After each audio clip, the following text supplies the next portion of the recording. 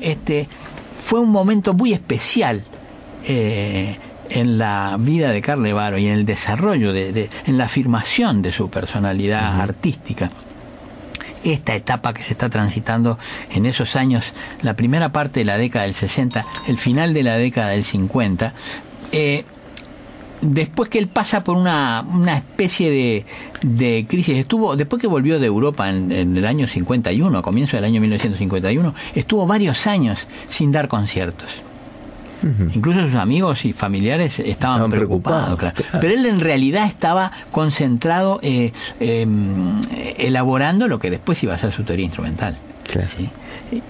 Y, había tenido aquel, aquella especie de espaldarazo interior que, que, ya contamos la anécdota, que fue cuando, cuando Segovia le reconoció que esas cosas que él este, había pensado, eh, él no las conocía. Era, eran nuevas. Eso fue allá por el año 1953.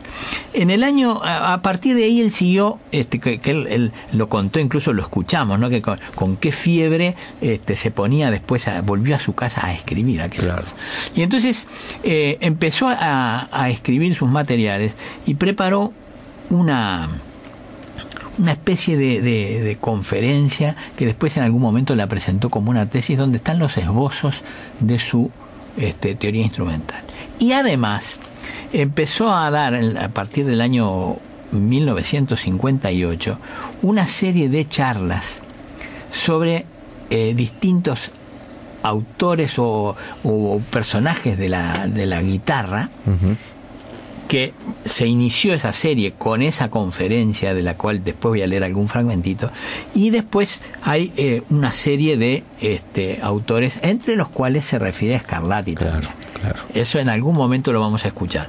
Eh, eh, pero el punto de quiebre, yo creo que fue, donde él se termina de liberar totalmente un poco de aquella influencia de Segovia, estar mirando a ver qué, qué opinaba qué no opinaba.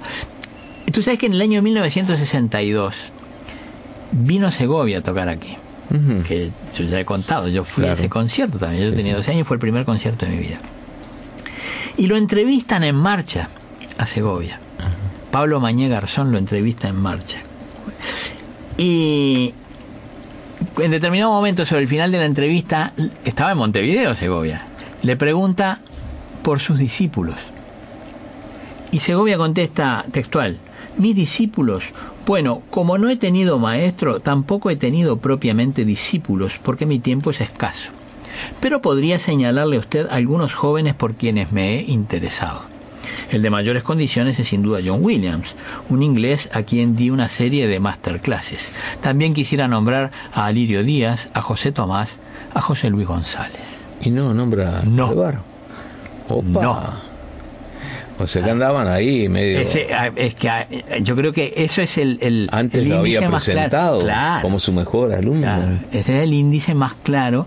Y yo creo que eh, fue en, como, como reafirmación de eso que eh, Carlivaros como, como que se sintió liberado.